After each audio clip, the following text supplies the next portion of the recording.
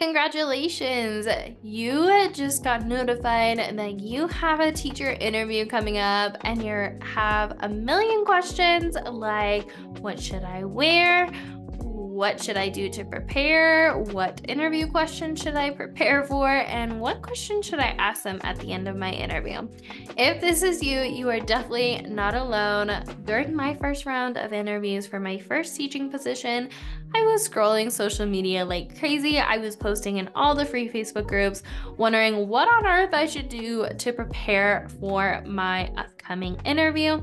So, today we are going to be talking about 10 possible questions to ask at the end of your teacher interview. Now, in general, typically after an interview, they give you time and open up the floor for you to ask questions at the end of an interview. Now, in general, I don't recommend doing more than two to three questions because you want to be mindful of their time.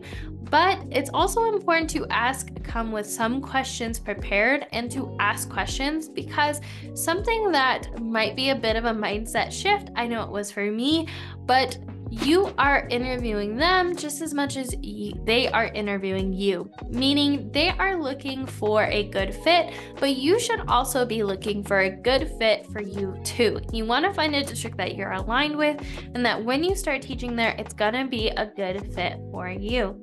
So that's why I recommend two to three strong questions to ask based on what you want to prioritize asking during that time. So, that being said, here are 10 amazing questions to ask at the end of your teacher interview.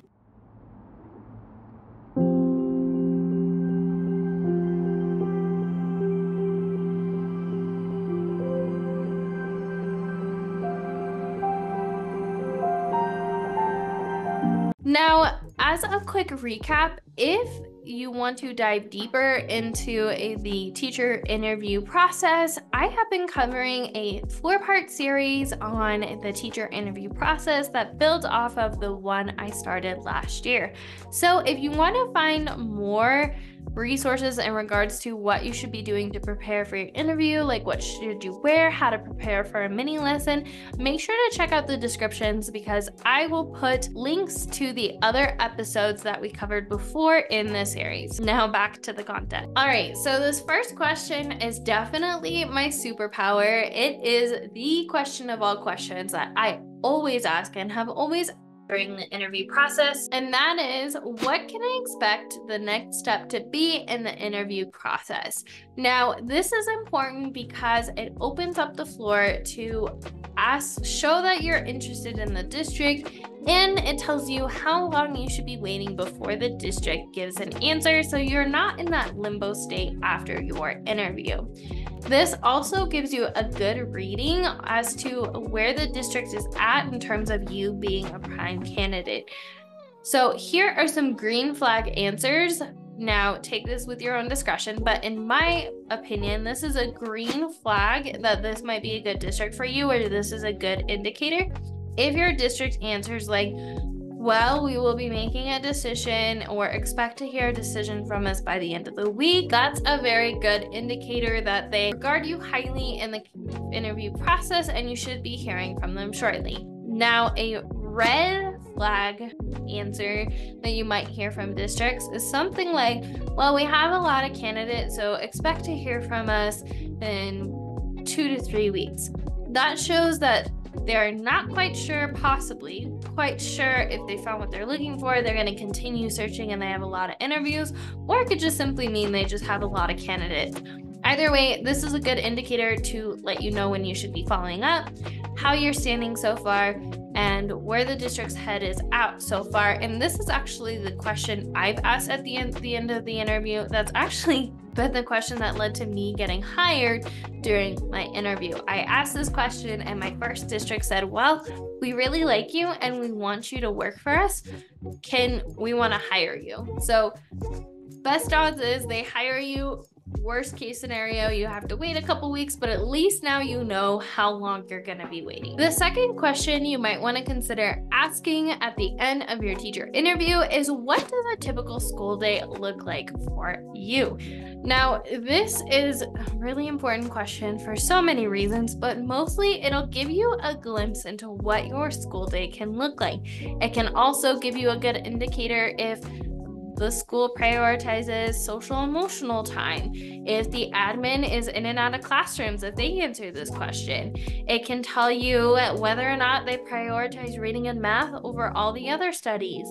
It can tell you a lot based on what the school prioritizes in their daily schedule. And this can be extremely important if you're looking for a district that values a particular thing over another. So, again, this is a good indicator on what your typical day might look like and what the school values and what actions it is taking to prioritize different aspects in the classroom.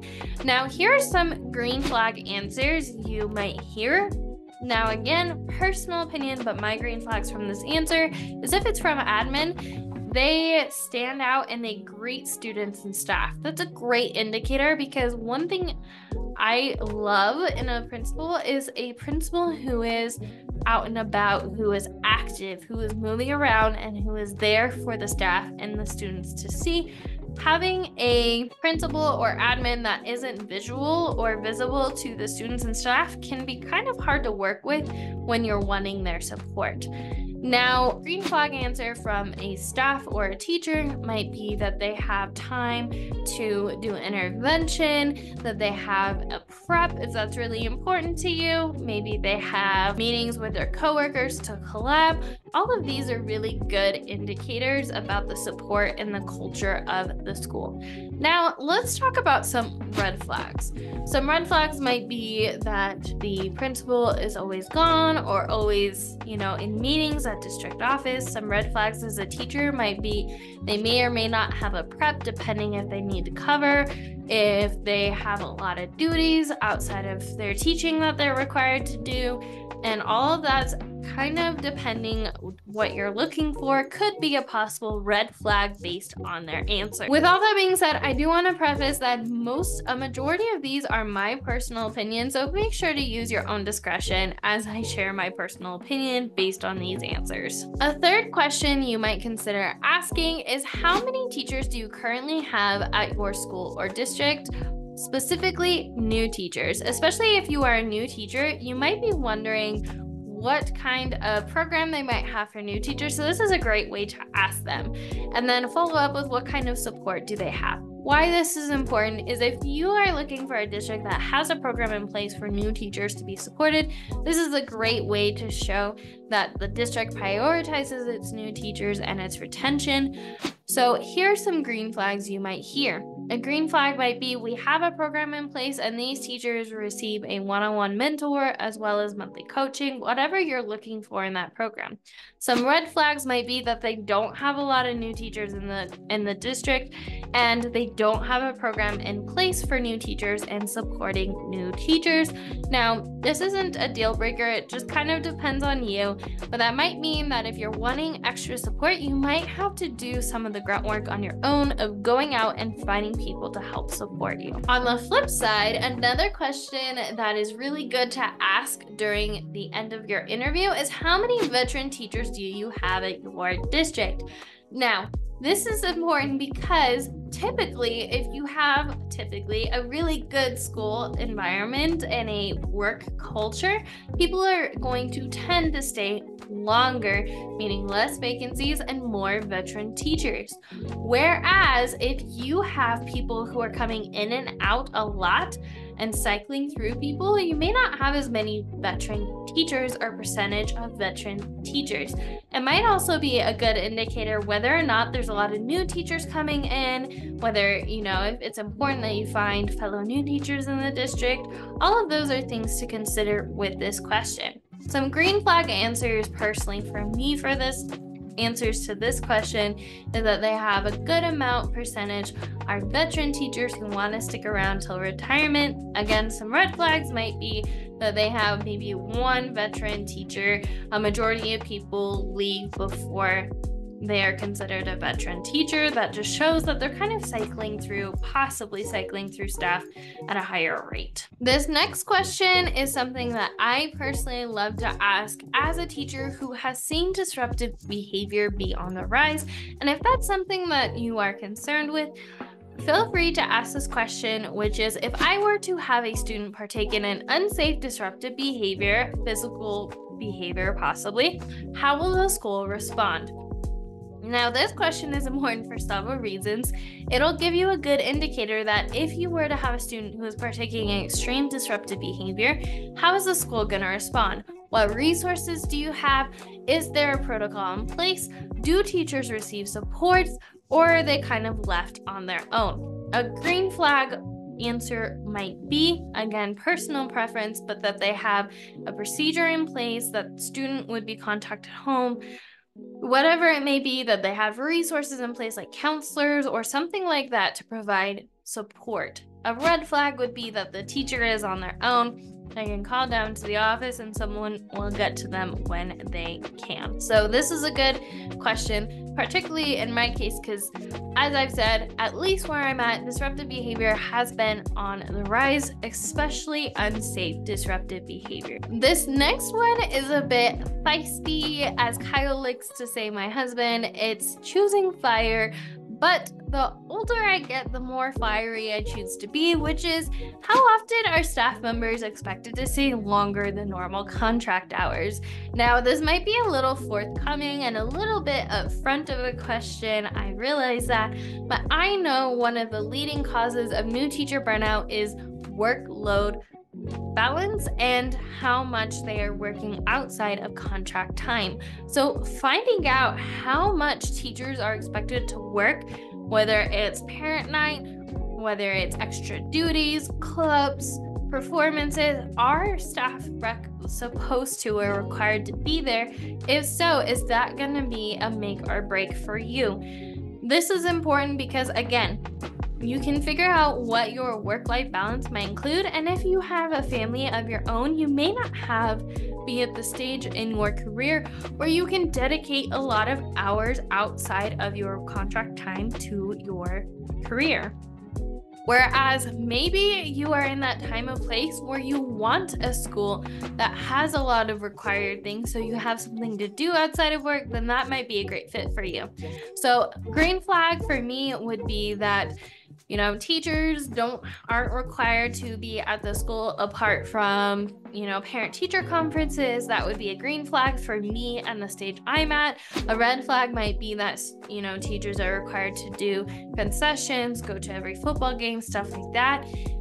As a possible future mom, I don't want to have to worry about that when I'm gonna have kids of my own in the future who are gonna have their own tasks and hobbies and stuff to get to as well. The next question I highly recommend asking is what is the average amount of prep time a teacher has a day or a week?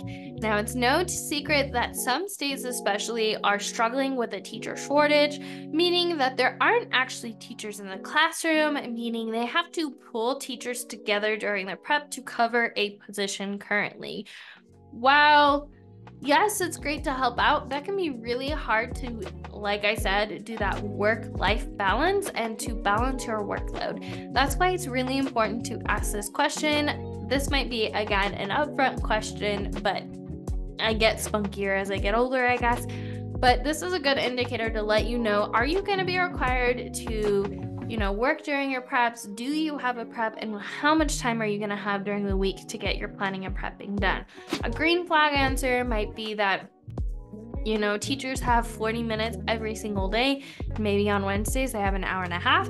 That would be perfect. A red flag might be, you know, 20 to 30 minutes. However, you might be required to work on your prep for other teachers as they are experiencing a teacher shortage that might be a red flag. Again, it's your own discretion. The eighth question I like to ask during a teacher interview is a great question to figure out A, if your answers during your interview were what they were looking for, and B, it's a way to figure out how to tweak your answers in the future for future interviews. And that is what are you looking for in an ideal candidate? Now, this is important because, like I said, it helps you check in with how you answered the interview questions. And then also to see, okay, if I wasn't what they were looking for, maybe I can take this advice and kind of tweak my answers as long as it's truthful and aligned with who you truly are as a person to better match what candidates or what people are looking for in the future. And I can highlight those qualities that I do have, I just forgot to mention during my interview questions. Now, a green flag answer could be, Well, we loved how you said, and if they use you as an example, that shows you that they actually really think you're a really good candidate and that you're look pretty much what they're looking for. Now, a red possible red flag answer could be that they are looking for a bunch of things that you didn't mention. That tells me one, not only was I not a good fit during my interview, but two, that maybe they're not the best district for me because I mention all of the great things I'm looking for, I feel about myself, and I'm looking for in a district. And if there's a mismatch, that's a good indicator maybe this just isn't the district or the job for me. And that's okay because there are other teaching jobs I can always apply to. And I'd rather apply to a job that I love than try to fit somewhere where I'm not going to feel supported or just isn't aligned with my personality. Now, this last question can be important to you depending again what you prioritize, but I know moving from a small district where there was one teacher per grade level, maybe two teachers per grade level, to a bigger district that had three or four teachers per grade level, I was extremely nervous to work with a team. So I asked during my interview, how many teachers are there per grade level? This was important because it let me know whether or not I'd be working with a big team or smaller team. And then it also let me know, you know, am I going to be on my own or am I going to have support? Now, again, this may not be a high priority for you, and that's totally fine. For me, my green flag was I actually wanted a bigger team because when I student taught, I was used to my mentor teacher having three or four teachers to support them, and I was used to the bigger schools where I grew up. Whereas the smaller one, while yes, it had its perks, I was actually looking for a bigger team than I had currently that had more resources that we could really work together and be a good fit. Some red flags for me at the time when I was interviewing for that position was that I was the only one in the grade level because I wanted someone to help support me and we could support each other. I was looking for more of a community at the time. That wraps up the top 10 questions you might ask at the end of your teacher interview. As a recap, the 10 questions were number one, what can I expect the next step to be in the interview process. Number two, what does a typical school day look like for you? Number three, how many teachers do you currently have at your school district or new teachers? What kind of support do they have? Number four, how many veteran teachers do you have at your school district? Number five, if I were to have a student partake in unsafe, disruptive behavior, how will the school respond? Number six, how often are school members expected to stay longer than normal contract hours? Number seven, what is the average amount of prep time a teacher has a day or week? Number eight, what are you looking for in an ideal candidate? Number nine, how many teachers are there per grade level? And the final question is what how would you describe the school climate? Now this is important to kind of get a feel for what the school prioritizes and what it doesn't. For me that looked like for teachers who support each other that have strong teams and are welcoming of others.